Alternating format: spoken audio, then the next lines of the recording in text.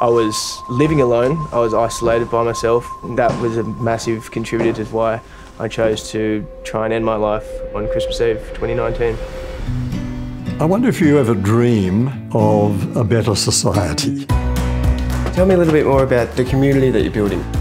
What does loneliness mean in the age of social media? So you're telling me that I need to see my brain as a muscle. I have just been on the most wild journey